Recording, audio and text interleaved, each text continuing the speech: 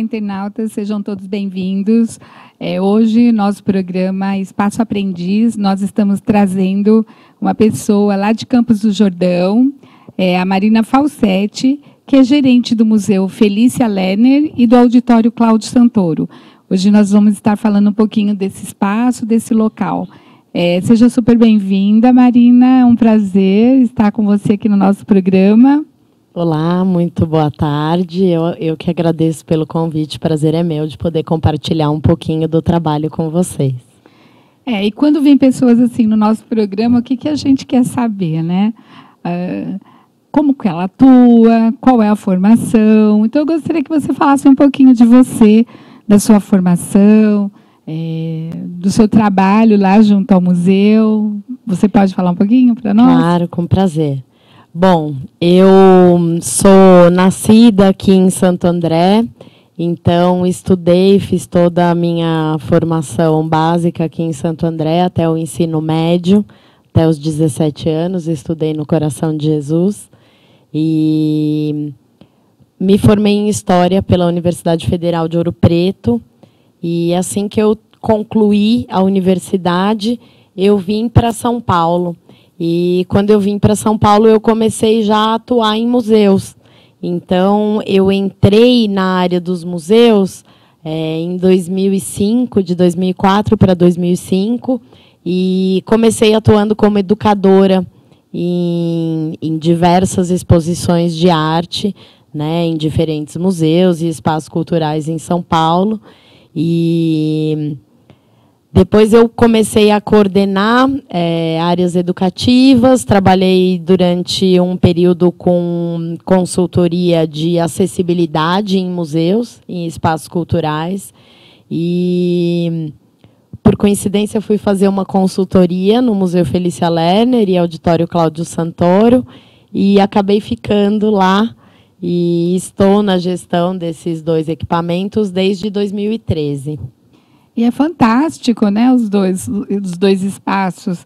É, eu estava dando uma olhadinha, nós temos aqui também as, as, as esculturas, né, que são, que são expostas lá. Então, pessoas que visitam Campos de Jordão, nos festivais, né, que existem, então, sempre dá uma, uma visitadinha lá na, na, no espaço de vocês também, né? espaços. né? Então, vamos falar um pouquinho da, da artista? Isso. É, vou falar um pouquinho sobre esses dois equipamentos culturais, tanto o Museu Felícia Lerner quanto o Auditório Cláudio Santoro, são equipamentos culturais da Secretaria de Cultura e Economia Criativa do Governo do Estado de São Paulo. E esses equipamentos são geridos em parceria com uma organização social de cultura, que é a Campo Ortinari, para quem eu trabalho. Então, nós temos contratos plurianuais com a Secretaria de Estado da Cultura e com a qual a gente fecha o nosso plano de trabalho, define as nossas linhas de trabalho, né, os projetos e ações que serão tocadas naquele período. E, e a gente é acompanhado muito de perto por essa secretaria. Né? Então, a Campo Ortinari, que é a organização social que está fazendo a gestão, é, começou a gerir a coleção do museu em 2009 e, a partir de 2012, assumiu também a gestão do auditório. Então, hoje a gente faz uma gestão unificada desses dois espaços. O auditório é onde acontecem as as apresentações das orquestras. Isso. Que sempre eh, tem essa chamada do, do Festival de Inverno, essas coisas. É? Exatamente. É? Então, aí eu vou falar, conta um pouquinho do histórico, então, desse espaço. É, Campos do Jordão que já... inclusive está no fundo do nosso, né? É o, Isso, é o teatro. Nós esse, né? estamos né? ao nosso Nós fundo, estamos no teatro. Estamos dentro do auditório Cláudio Santoro. É, a Campos do Jordão já fazia um festival de música erudita, um festival internacional, né, que hoje é tido como o maior festival de música erudita da América Latina. E hum, esse ano aconteceu a 50 edição do festival. Então, quando esse festival começou lá atrás, ele começou a ganhar uma proporção muito grande e o governo do estado entendeu que seria adequado construir um, um auditório para poder abrigar esse festival, pensando, em princípio, exclusivamente na linguagem da música erudita. E então lá na década de 70, quando esse auditório foi ser construído, a artista plástica Felícia Lerner estava morando em Campos do Jordão. Então ela já tinha a intenção de doar a coleção dela para o estado, e aí o estado entendeu que devesse construir esses dois equipamentos numa mesma área. Então, hoje, é, museu e auditório estão abrigados dentro de uma área de preservação ambiental.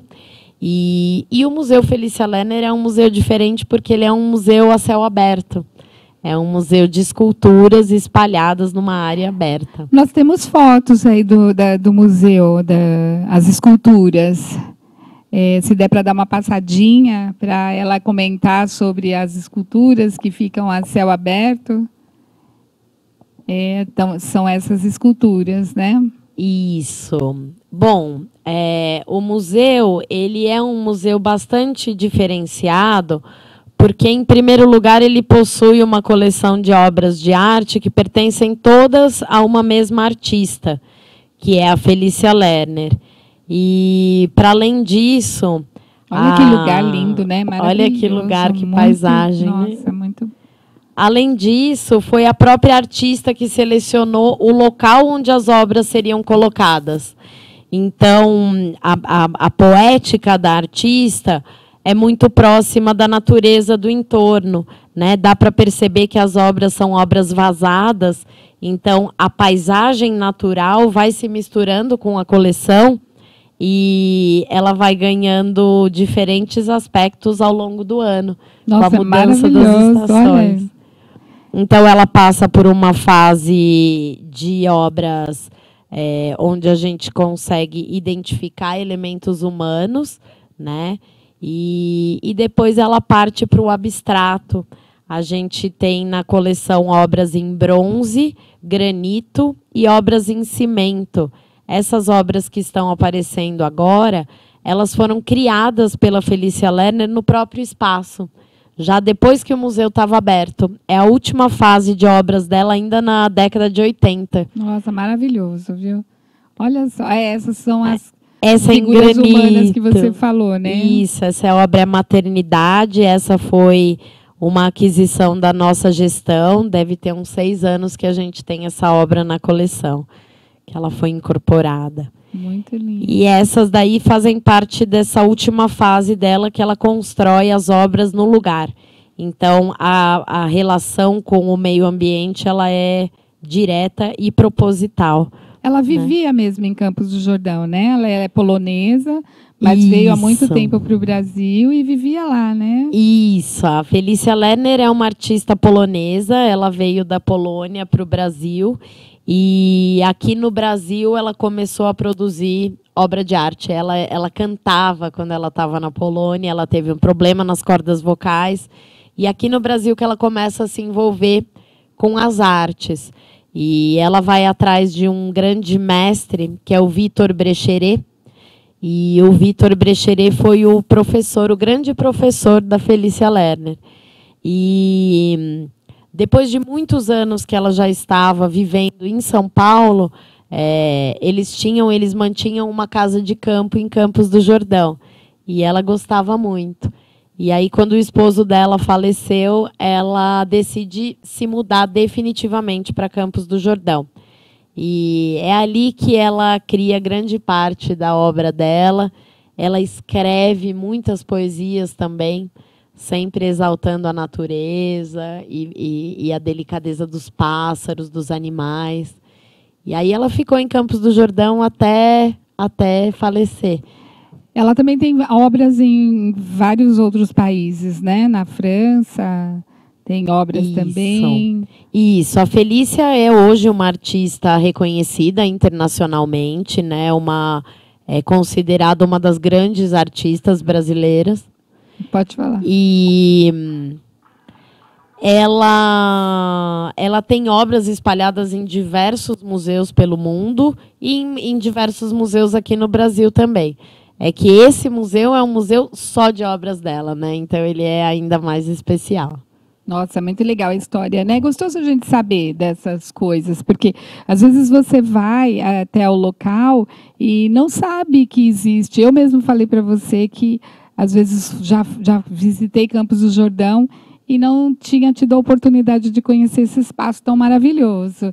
Então, assim, fica o convite para as pessoas que estão nos assistindo que queiram ir lá visitar. Ah, os ingressos são super acessíveis, né? Isso. É, o museu e o auditório eles ficam abertos de terça a domingo e os ingressos são R$ reais inteiros, cinco meia, mas nós temos uma política de gratuidade bastante ampla também, que vale a pena as pessoas interessadas entrarem no nosso site para conhecer um pouquinho melhor essa política.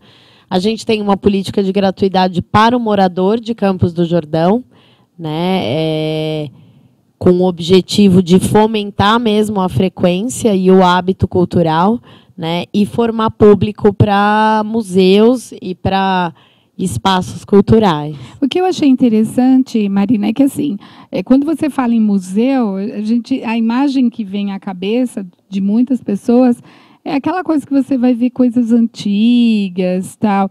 E não é verdade, né? Vocês lá são super atuantes, fazem sempre uma, uma, uma agenda que favorece bastante as pessoas de aumentarem o seu conhecimento, de conhecerem coisas novas, Isso. de participarem também. Né? É, eu acho que atualmente a gente precisa atualizar o nossa, a nossa visão e a nossa ideia de museus.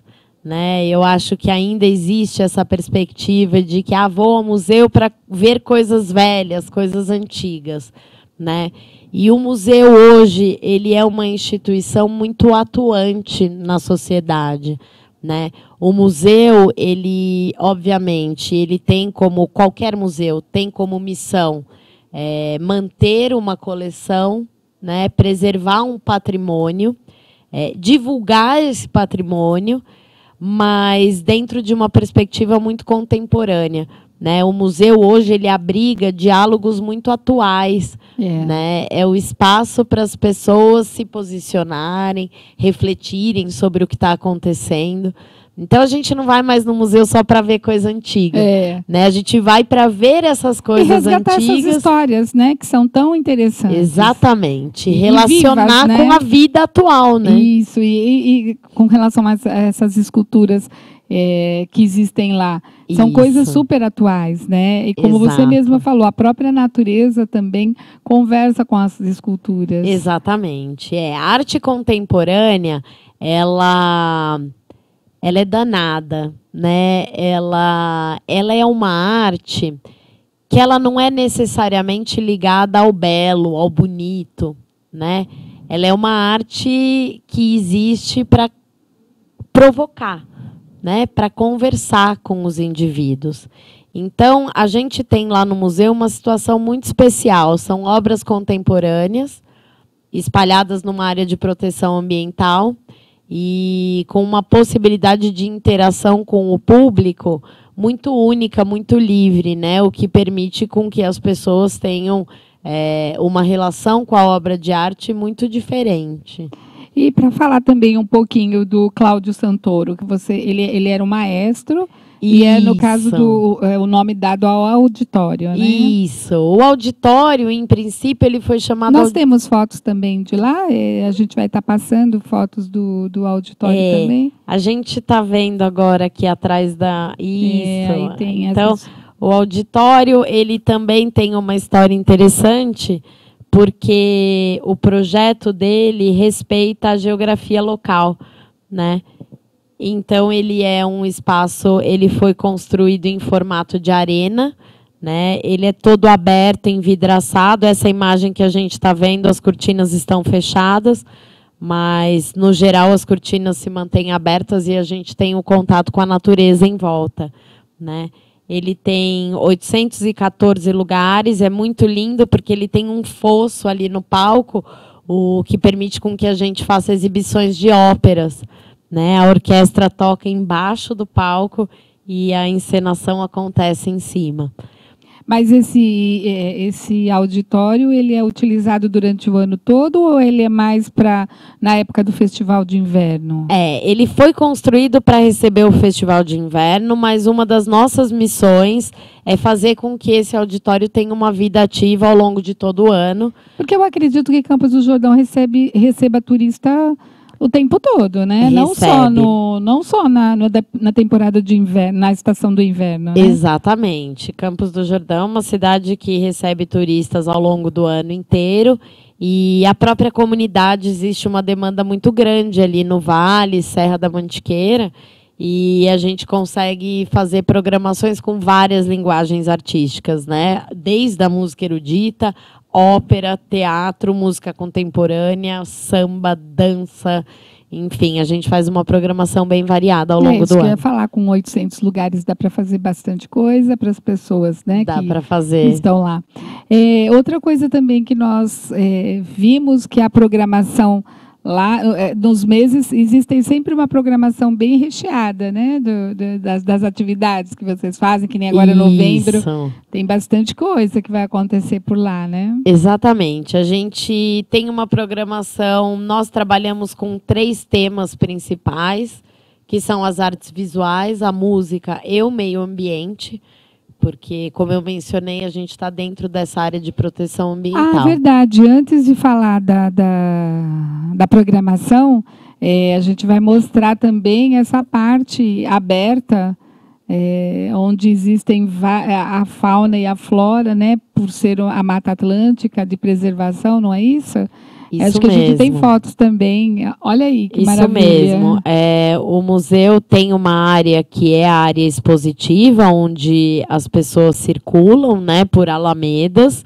E, mas existe uma área muito grande, que é uma área de proteção, né, com inúmeras espécies nativas espécies que a gente hoje conhece e sabe que só acontecem ali nessa região né, as, as araucárias, as famosas araucárias.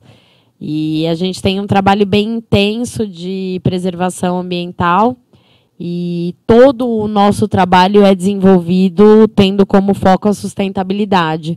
Né? Então a gente faz um acompanhamento muito intenso, a gente faz plantios de compensação de CO2, enfim, nós temos um compromisso bem sério com as questões ambientais também. Muito lindas. Aí a gente tem uma vista, essa, esse é o mirante do museu, onde a gente tem uma vista para a Pedra do Baú, né, que fica situada em São Bento, mas que a, a vista mais privilegiada é de Campos do Jordão.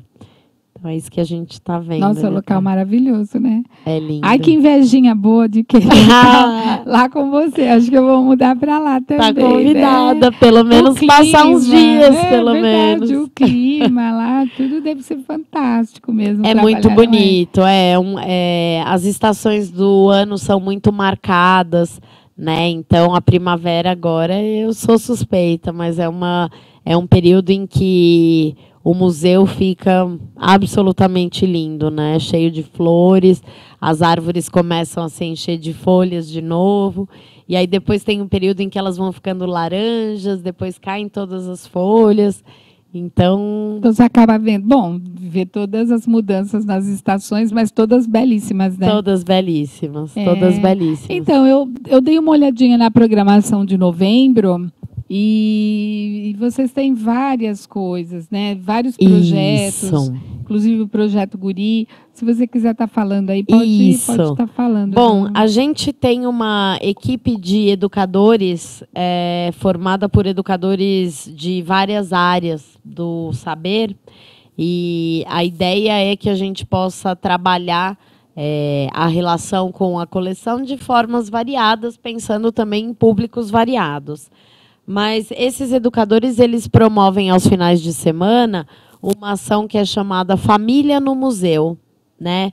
É, essa proposta é que a gente possa trazer ações que permitam um, uma troca entre gerações, né? E a troca de aprendizado, de conhecimento é, e um momento de lazer e descontração para a família, né? Então, esse mês de novembro, é, a equipe de educadores está bastante focada no tema da consciência negra. É, que no dia 20 de novembro a Isso. gente comemora né, o Dia da Consciência Negra. Exatamente. E, e a equipe de educadores faz um trabalho bem, bem bacana nesse sentido. Então, grande parte das ações são propostas que trabalham oficinas de arte, de cultura, com o tema da consciência negra no mês de novembro. Eu até comentei com você antes né, da gente estar aqui eh, sobre esse tema e a boneca que é confeccionada, né? Que também existe uma história Isso. dos navios negreiros que vinham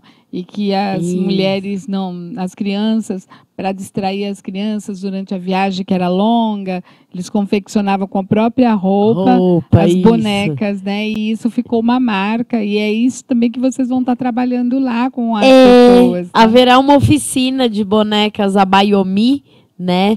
Que como a Ana Maria estava contando aqui, são bonecas da tradição afro-brasileira. Você sabe que para mim, é, olha, eu, eu tenho escola já há bastante tempo e te falei que esse conhecimento não é, foi a questão de três anos atrás, então é super recente. Então eu acredito que muitas Isso. pessoas também não conheçam essa Exatamente. história, sabe? E aí é, é um ponto interessante daquilo que eu estava te falando que os museus hoje eles conversam com o contemporâneo, né? E é, e é missão dos museus também trazer parte dessa história que foi ficando oculta, né? Então valorizar a cultura afro-brasileira é devolver essa dignidade que durante tantos anos a gente tirou do povo africano Sim. né? Então, o, o museu tem esse papel, né, de comunicar.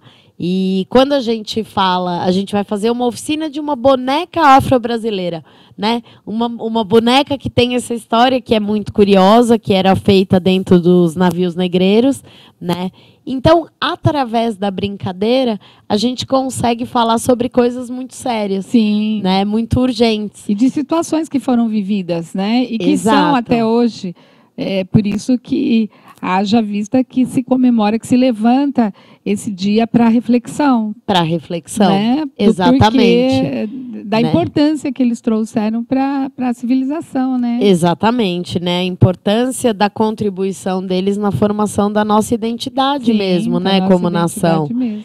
E então esse mês a gente faz essa atividade, né, voltada pro pro público familiar, né? É o foco é a criança, mas qual é o pai que não quer se envolver numa atividade cultural Vocês junto já fizeram em outros anos é, é, essa mesma oficina ou Essa não? oficina ela já foi feita com público escolar. Tá, Esse ano a gente está trazendo também para as famílias, sim. né? Então, essa é uma das atividades. Eu vou dar uma olhadinha aqui o que mais que a gente que vai acontecer ao longo desse É, vai ter mês. a apresentação do projeto Guri também, né? Que são Isso. Bom, a gente também estabelece uma série de parcerias com outras organizações e instituições. E o Projeto Guri é um dos nossos parceiros. E ao longo desse mês nós teremos uma, uma grande apresentação de três núcleos do Projeto Guri dentro do auditório. É, nós também teremos esse mês um curso de formação para professores dentro do tema de- do meio ambiente, preservação das águas. Então, essa é uma relação que nos é também muito importante, sim. que é com a comunidade escolar. Né? Então, a gente, a gente realiza pelo menos quatro cursos anuais para professores e a gente vai trabalhando ao longo do, jun- É, do eu ano acho que essa também. bandeira já tem sido levantada e é super importante. É super para importante. que a gente também possa levar para os nossos educandos a importância da, da água, a importância do, de não da não destruição, Isso, e, e trazer. da preservação da vida, né? Exatamente. E auxiliar o professor também com ferramentas para falar sobre o assunto. É. Né? É, a gente também tem esse, esse mês uma- um curso de formação para guias de turismo. Né? A gente entende que os guias de turismo são nossos parceiros, na difusão do, dos temas e, do, e dos próprios. Ah, esse daí do guia, depois eu vou. Eu, a gente vai fazer um break. Tá. E depois que nós voltarmos, eu quero que você fale um pouquinho desse, que eu dei uma lidinha, eu achei bem interessante essa Combinado. parte. Então a gente tá vai para um comercial agora. Tá bom.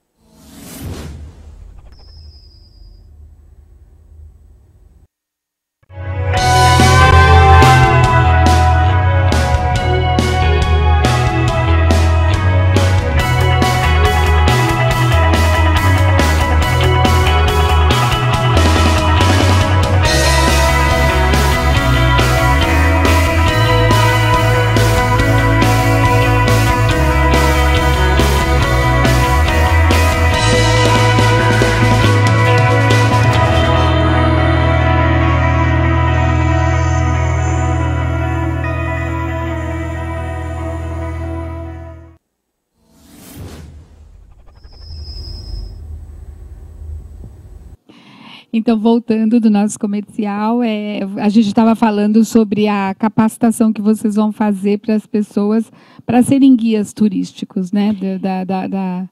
É, na, na realidade, a gente trabalha com os guias já cadastrados, né? É, são guias que atuam na cidade de Campos do Jordão e a gente faz um trabalho bem próximo também com eles no sentido de apoiar a formação continuada desses guias, para que eles possam atender os turistas quando estão no museu e no auditório é, com qualidade, né? Assim, garantindo que as informações serão informações é, corretas, de qualidade, e que o turista vai ter acesso a essa informação qualificada pelo guia. Então, a gente realiza do, dois cursos anuais. Então, são os guias mesmo que já trabalham, que Isso. vão para uma capacitação para aprimorar o conhecimento, né? Exatamente, para aprimorar os conhecimentos. Ah, muito legal. E poder ter mais ferramentas para trabalhar junto com os públicos de turistas, né? E, a, esses turistas que, vê, que vêm, é, já tem a programação, né? De estar tá fazendo a visitação, às vezes, no museu. Isso, a gente tem, a gente tem alguns perfis de público, né? É, Campos do Jordão tem o turista que, que tem casa, então ele é um turista que, que frequenta a cidade anualmente. E, e esse, esse turista ele chega sozinho até o museu auditório. Né? Então é um turista que vai interessado numa visita educativa, para assistir algum espetáculo, para acompanhar alguma oficina. E a gente tem um outro formato de turista que são aqueles aquele turismo que acontece com o guia de turismo. Né? Então existem já alguns roteiros formatados na cidade e, e, e, esses guias, eles normalmente eles têm menos tempo com o turista dentro do espaço. Então, o que a gente faz é trabalhar no sentido de que, por menos tempo que ele fique ali, ele consiga passar uma informação de qualidade e, e oferecer uma experiência. Né? Porque a nossa ideia é muito mais do que informar, é proporcionar experiências. Que é verdade. Quando você vive a experiência, nunca mais você esquece. Pode passar nunca anos e mais. anos e anos. Você vai estar sempre e aquelas informações vão ficar dentro do, da sua mente. Exatamente. É um conhecimento adquirido, né? Exatamente. Uma da, um dos conceitos que a gente trabalha na, no nosso educativo é o conceito da multissensorialidade né? Que é a ideia de que você possa acessar as coisas não apenas pelo canal da visão, né? Então, quando a gente trabalha um conteúdo é, a, por um viés multissensorial, a gente tenta trazer a experiência sonora, a visual, a olfativa. E, e quando você dispensa ou quando você usa todos esses sentidos na aquisição de um saber, aquilo fica registrado muito com muito mais potência. É verdade, né? fica registrado. Então, um dos nossos conceitos de trabalho é esse: é trabalhar para que a experiência tome lugar da informação. É isso que eu queria trazer, é, Marina, para o programa, para mostrar, para desmistificar a ideia que as pessoas têm às vezes. É claro que não são todas, né? Não, não, a gente não vai generalizar mas para desmistificar a ideia que as pessoas têm que museu é, você só vai lá para ver uma história, mas vai para ver uh, mó, mobília, coisas isso. antigas. E na realidade não é isso, né? Não. Eu tive a oportunidade de conhecer vários locais assim onde as pessoas realmente estão preocupadas com essa parte sensorial, uh, com, com, que as pessoas saiam de lá transformadas, assim, mas com uma vivência. Exatamente. Né? Não só de passar e olhar. Exatamente. Né? Porque isso não traz, não traz conhecimento. A né? gente tem a educação não formal tem uma liberdade é, que permite com que a gente explore essas possibilidades de acesso do conhecimento de outras maneiras. Perdão. E a, a experiência dentro do museu, eu acho que assim, é, é importante o museu que tem a mobília, que tem a parte histórica, é importante. Claro. Mas ele é um museu que ele vai ilustrar coisas que a gente aprende na escola, por exemplo, né? Agora o museu de arte, ele tem uma vantagem. O museu de arte, ele diferente da escola, ele não tem certo e errado. E aí o que acontece com nós, indivíduos formatados dentro da escola? A gente tem medo da arte, porque a gente acha que a gente tem que dar uma resposta diante do objeto, né? E o trabalho que a gente tenta fazer dentro do museu é tirar essa obrigação da resposta, do certo e do errado. Porque Está aí justamente a força e o potencial da arte, que é se conectar com aquilo que você traz dentro de você.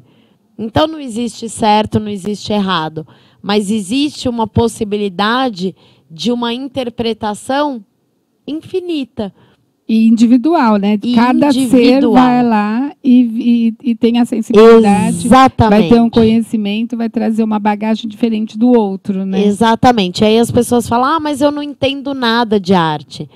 A gente não precisa entender de arte, né? A gente precisa se colocar ali disposto a se relacionar com aquele objeto.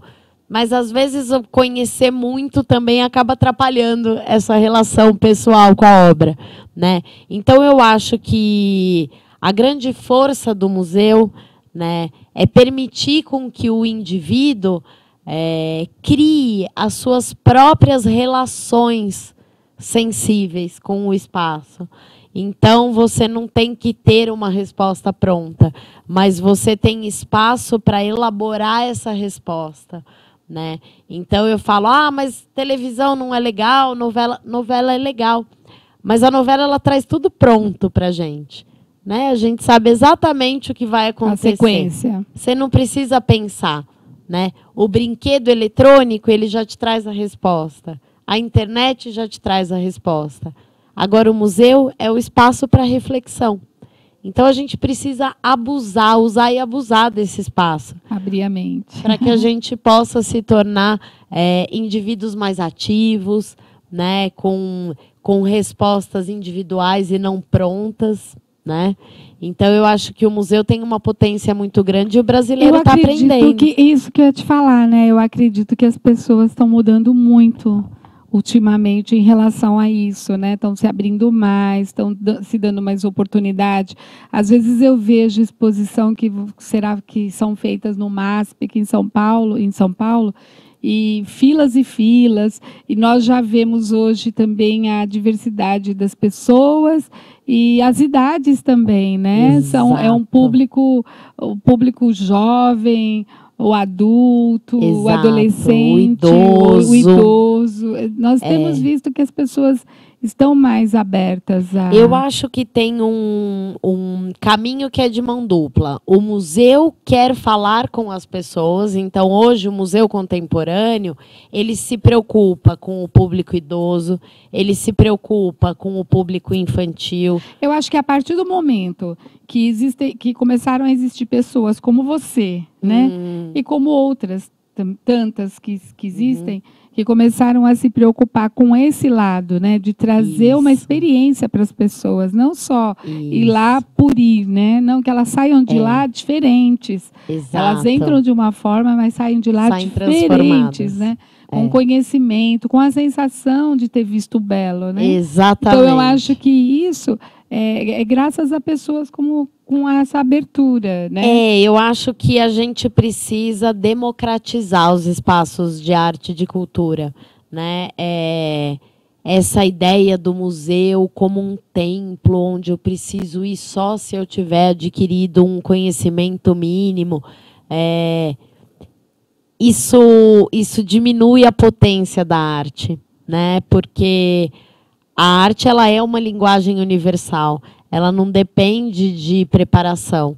E quanto mais as pessoas puderem acessar, né, eu acho que isso em todos os sentidos, na verdade, a gente tem que democratizar tudo. Tudo, é. Né? Mas é, nós arte... mesmo falamos que o teatro, há, um, há alguns anos, questão de uns 20 anos atrás, era muito era é, não era acessível para todo o público né as pessoas é. tinham muita dificuldade é. e aí depois foi abrindo foi Isso. tendo dando oportunidade hoje nós já temos como você mesmo disse vários locais com espaços gratuitos só não Muita. vai só não só não frequenta quem não quer. Quem não porque quer. oportunidades existem é. muitas, né? Agora, é frequenta quem não quer e ainda no nosso país fre não frequenta quem não conhece. É. Né? Hoje a gente ainda tem um, uma defasagem muito grande, as pessoas não acham que elas podem fazer parte desse universo. Então, o nosso programa Espaço Aprendiz é justamente para isso, para que nós possamos trazer, para que a gente traga pessoas como você, como tantas outras que nós já trouxemos aqui, para que as pessoas saibam que está nas mãos, é, é, só querer, né? É só querer. E, e, e buscar o, um conhecimento, ou então buscar para estar participando desses, é, desses espaços. Eu acho que hoje quase todos os museus eles possuem um dia de gratuidade, pelo é, menos. É, eu acredito que né? sim. É, a gente lá faz a nossa gratuidade aos domingos. Né? A gente quis democratizar mesmo, fazer um dia em e é que é bem legal, né? todo é um mundo. dia que a família está reunida. Exato. Pode, é. E mas quase todos os museus. Então quem tem quem tem interesse ou começou a se interessar é, precisa olhar. Eu acho que a gente tem hoje exposições é, de muitas linguagens diferentes. Sim. Né? Você não precisa amar a arte contemporânea, você pode gostar de uma arte mais clássica. Sim. E isso está tudo aí, é só a gente abrir o olho e mesmo. até ir para ver qual é aquela que você tem mais afinidade. Exato. Porque se você não conhece, é, você não sabe qual é Exatamente. A, a, né, o tipo de artista que você tem tem não mais tem, afinidade para estar tá conhecendo, né? Eu acho que isso aí fez, faz muito sentido isso que você falou. A gente não tem como gostar do que não conhece, né? é. né? Não tem como escolher o que não conhece. Então eu acho que a gente, a própria frequência nos museus, ela precisa, a gente precisa levar a criança para o museu. Porque a partir do momento que a criança chegar no museu, ela traz todo mundo. Traz. Ela né? leva, essa, ela, ela leva essa, ela leva essa, essa condição para os familiares, é verdade. E até porque os pais ainda estão com essa ideia de um museu sim, ultrapassado. Sim, sim. Mas os pequenos já, já sabem não. que o museu hoje é divertido. É, mas eu tenho visto, mesmo aqui em Santo André, viu? É uma preocupação Isso. muito grande. Parceria da Secretaria de Cultura, é, fazendo muitas coisas bacanas aqui. E as pessoas já estão participando mais, é. sabe? Já estão. Eu sempre achei que Santo André tivesse mesmo assim um, um, uma preocupação com a cultura e com a arte. Eu vi muita coisa aqui, né? Grande parte assim do, do meu despertar para esse universo é daqui de Santo André. E isso, isso dá resultado nas comunidades, isso dá resultado no mundo, né? Quanto mais as pessoas têm acesso à arte, à cultura. É transformador, né? É transformador. É transformador. Nossa, olha, eu tô, tô muito feliz com a sua presença, né? Hum. É, gostaria que você falasse mais de, de mais, mais um algumas pouquinho. atividades que tenham aí. O nosso programa já está quase indo ao final. Sim. Daqui a pouco eles levantam a plaquinha me falando quanto Chega. tempo passa. Quanto tempo falta? Olha lá, faltam cinco minutinhos. É, então, que você falasse um pouquinho, convidasse Sim. as pessoas para estarem indo lá, né?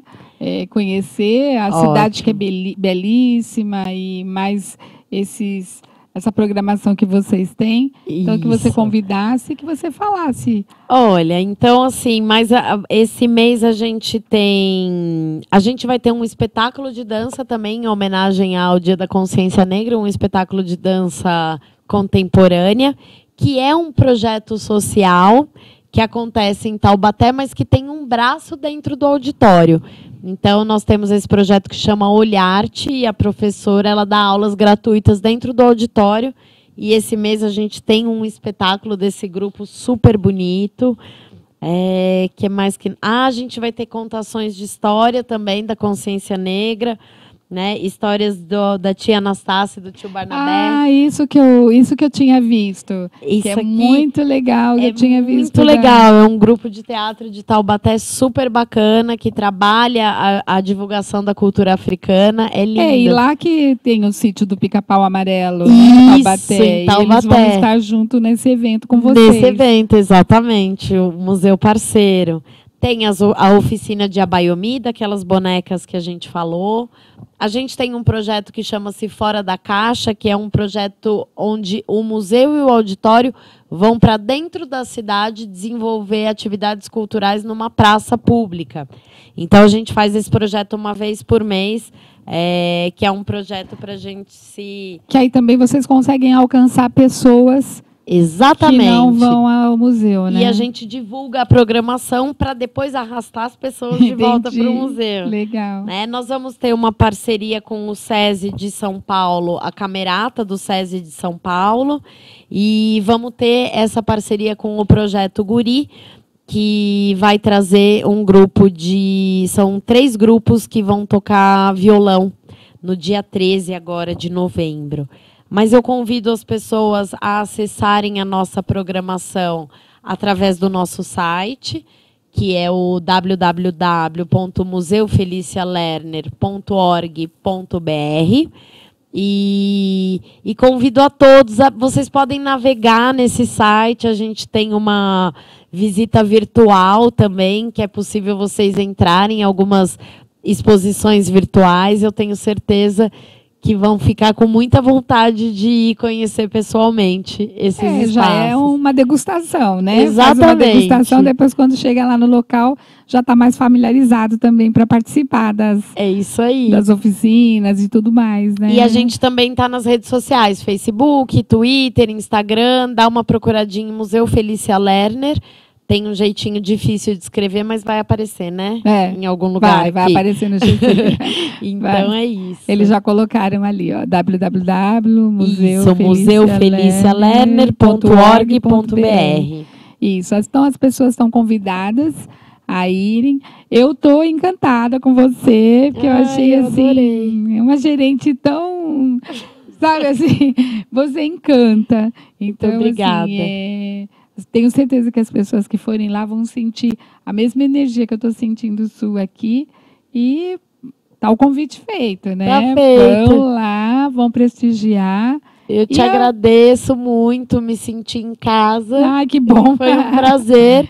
e espero você também lá para nos é, visitar, com certeza, Maria, muito vou, em breve. Sim, prazer. Não vou, claro, não vou perder essa oportunidade. E eu acho que é legal, eu não falei uma coisa que seria rápida. Não, pode falar. Para as pessoas ficarem ligadas nas nossas programações de férias tanto em janeiro quanto em julho, a gente tem oficinas que acontecem durante todos os dias de abertura do museu.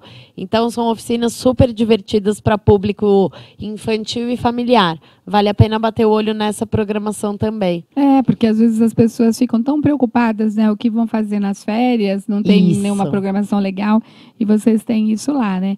Olha, Marina, prazer enorme, viu? Muito um prazer, prazer mesmo. Ana. Muito obrigada. E sempre que você tiver alguma coisa de novidade que quiser passar Agora a gente está ali, ó. Agora ali, a gente está conectada. conectada. Isso. Então você passa. Eu posso estar falando aqui da programação para as pessoas, né? Que ótimo. Tá Muito obrigada. as pessoas para estarem indo lá, tá? Foi Muito um prazer. obrigada. Um e prazer você que meu.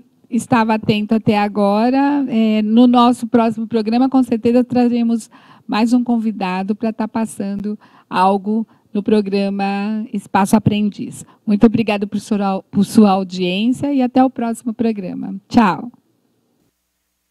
Thank